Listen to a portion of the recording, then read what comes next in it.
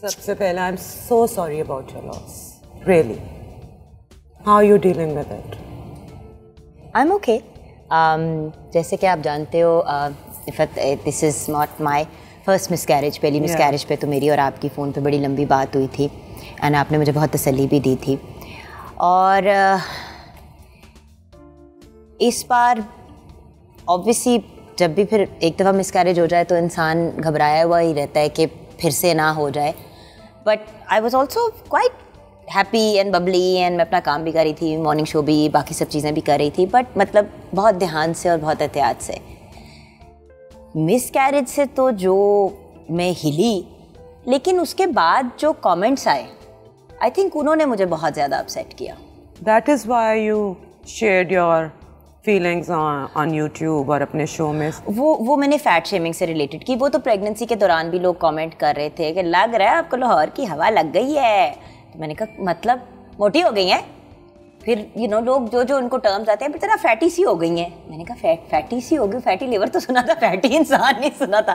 But you know and healthy जो एक इतना खूबसूरत वर्ड है उसको अब इतना नेगेटिव बना दिया गया है। ये कह के कि वो बड़ी हेल्दी हो गई है। बात सिर्फ़ इतनी है कि देखें इफ़ किसी को भी अच्छा नहीं लगता कि उनके वेट के ऊपर कमेंट किया जाए। अगर कोई अंडर वेट है उसको भी नहीं पसंद कोई ओवर वेट है उसको भी नहीं पसंद कोई एवरेज वेट का भी है तो वो भी वो भी ये नहीं सुनना चाहता कि थोड़ा वज़न कम कर लो थोड़ा बढ़ा लो you know मेरा तो ख्याल है सबको पता होता है उसके अगर वो मोटा है तो उसको पता होता है वो पत, बहुत पतला है वो भी उसको पता होता है। बताने की ज़रूरत क्या होती है? तो यही वाली बात है ना हम एज ए सोसाइटी बहुत ज़्यादा साउथ एशिया में नॉट जस्ट पाकिस्तान में पूरे साउथ एशिया में हमें आदत है लोगों का मुँह रगड़ने में रियलिटी के अंदर। और ऐसी रियलिटी जो नज़र आ रही होती है यार मुझे जो कमेंट्स बहुत ज़्यादा चुभे मिस कैरेज से रिलेटेड वो ये था कि मुझे बहुत से लोगों ने बल्कि कुछ दिन पहले ही आ, मुझे नाम नहीं लेना चाहती बिकॉज़ हर किसी की अपनी रिस्पेक्ट है। और कोई भी इंसान मेरे नहीं ख्याल से कि बदनीयती से बात करता है। कभी कभी हम इन कंसिड्रेशन में विदाउट रियलाइजिंग कह देते हैं।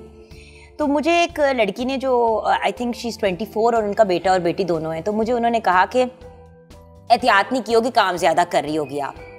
मैं कहा, बेटा, ट्वेंटीज़ में और थर्टीज़ में प्रेग्नेंट होने में बड़ा फ़र्क है और माशाल्लाह माशाल्लाह आपके दो हेल्दी बच्चे, अल्लाह का बहुत शुक्र है आपको कभी इस चीज़ को फेस नहीं करना पड़ा।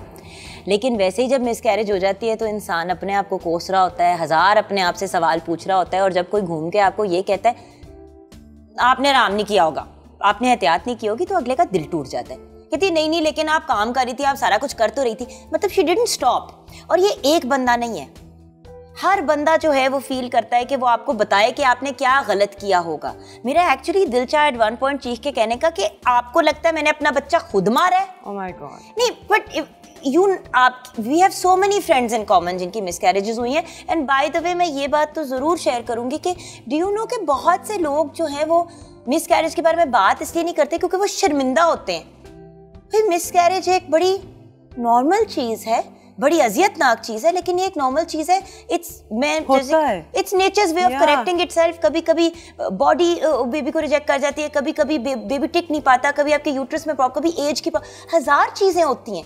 लेकिन किसी को ये महसूस कराना कि it must be there your fault मतलब इनडायरेक्टली तो यही बात होती है ना? नो काम छोड़ देती। अच्छा अब मैं मेरे जैसा बंदा जो you know is so hyper आप सोच सकते हो आप जैसा बंदा who's relax chill you are a happy hyper person but you are a very even tempered very chill person I was working till the night मतलब जब अगले दिन uh, नूरे जब डिलीवर हुई हैं मैं उससे एक रात पहले तक एडिटिंग कर रही थी। Exactly and that's the way we are मैं ऑन एयर थी 27th ऑफ़ दिसंबर जब हसन पैदा हुए मैं ऑन एयर थी। मैं काम से निकली हूँ और मुझे लग रहा था मुझे ऑन एयर ही लग रहा था कि कुछ मामला जो है ना कॉम्प्लिकेटेड हो रहा है दर्दें हो रही हैं। और वो एट्थ मंथ था वो मेरा भी नाइन्थ मंथ स्टार्ट बिल्कुल एट्थ मंथ का एंड था नाइन्थ की बिगिन मुझे लगा कि कुछ ऑफ़ है मैं हॉस्पिटल गई तो उन्होंने कहा कि भाई तुम्हारा तो बेबी आने वाला है। तो मैंने तो और मैंने लास्ट डे तक वैसे ही काम करना था। मुझे जो कहते हैं वट जिस चीज़ का है वो ये है कि हम इतने ज़्यादा अदम बर्दाश्त इतने ज़्यादा इनटॉलरेंट क्यों हो गए हम क्यों लोगों को मतलब अगला वैसी अजियत से गुजर रहा है उसको मजीद और टॉर्चर करने का क्या रीज़न है? Do you think? क्या रीज़न है? आई थिंक uh, हमें कभी सही तरीके से गाइड नहीं किया गया ना। हम लोग जब बैठे होते तो याद है बचपन में ओपनली uh, पेरेंट्स पूछ लेते थे अच्छा बेटा जॉब स्टार्ट की सैलरी कितनी है आपकी? Yeah. बेटा आपकी एज क्या है? आपकी शादी नहीं हो जानी चाहिए थी अभी तक। ये बातें बड़ी नॉर्मल और बड़ी कॉमन है। इवन आप रोजा रखते हैं? आ, बेटा आपने रोजा रखा है? अब एक लड़की से ये सवाल पूछना कि रोजा रखा है कि नहीं। आउट ऑफ़ थर्टी डेज़ कोई पाँच से सात दिन तो ऐसे हैं जब वो रोजा रख ही नहीं ही नहीं सकती। सकती है।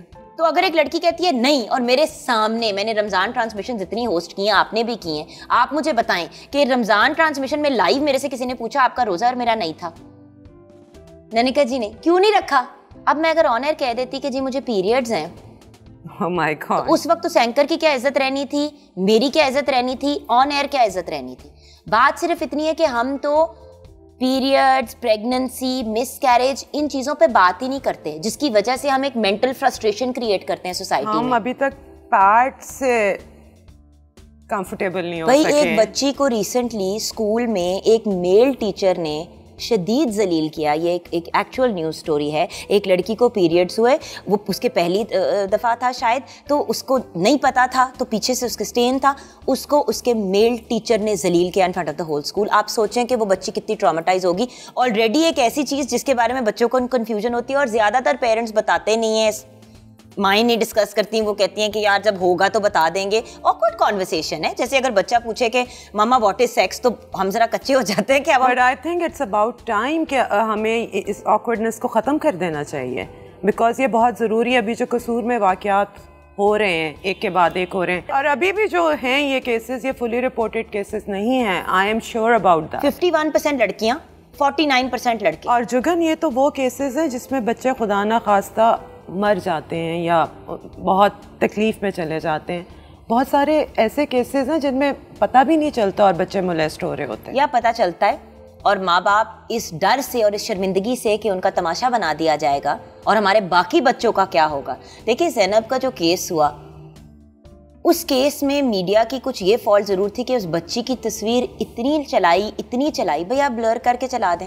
आप क्रिमिनल की शक्ल ब्लर करके चलाते हैं और जो विक्टम होता है उसको पब्लिकली आप एक उसका तमाशा बना देते हैं। मैंने भी रिसेंटली अपने प्रोग्राम पे जुगन एट नाइन पे ये शो किया और अम, हमने विक्टम्स को नहीं बुलाया क्योंकि ऐसे केस में जब आप विक्टम्स को बुलाते हैं जो खुद पब्लिक में नहीं आना चाहते तो फिर आप उनको जिच करते हैं।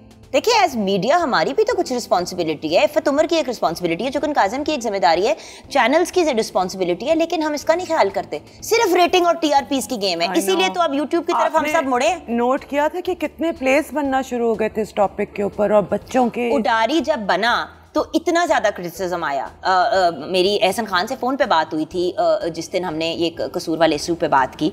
एंड मुझे यही बात ऐसे नहीं की कि सारों ने उस पर तनकीद की हर किसी से ने नेगेटिव क्रिटिसिज्म दिया but then what happened after that सबने फिर दाद दी वेल डन वेल डन आपका अवार्ड आपका अवार्ड तो व्हाट डू यू थिंक इन टॉपिक्स पे हमें प्लेस बनाने नहीं चाहिए या भाई, अगर आप खुद नहीं बच्चों से बात कर सकते, खुद नहीं उनको गाइड कर सकते तो कम से कम उनको टीवी प्लेज या स्कूल के अंदर किताबें गुड टच बैड टच में डिफरेंस इन चीज़ों पे तो काम करें ना। अगर माँ बाप ऑकवर्ड है, मैं मैं मैं अंडरस्टैंड कर सकती हूँ, मैं भी माँ हूँ, आप भी मदर है, हम थोड़े से हो जाते हैं। विजिलेंस भी है, लेकिन देखें, इसमें ये वाला सवाल आ जाता है कि क्या रियासत फेल के कर गई है या सोसाइटी फेल कर गई है? सवाल तो ये उठता है ना।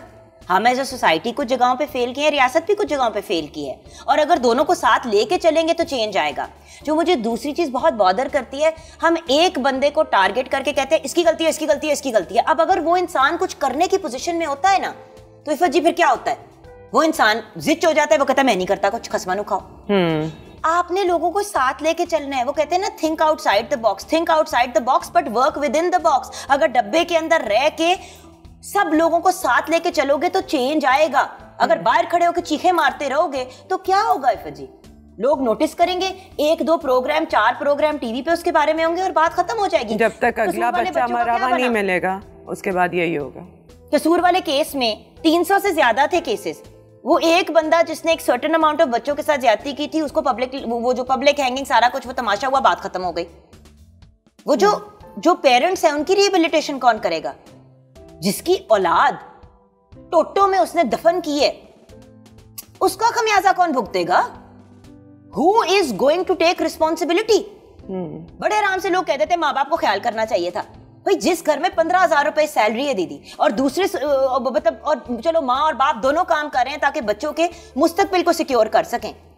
वो क्या करें? नौकरियाँ छोड़ के घर बैठ के बच्चों पे के पैरे थे तो फिर क्या कर सकते हैं? ये जानवर तो इंसान के अंदर कहीं कभी किसी वक्त भी आ सकता है। बट जानवर भी ऐसे नहीं करते। बात तो ये तो जानवर भी ऐसे नहीं करते।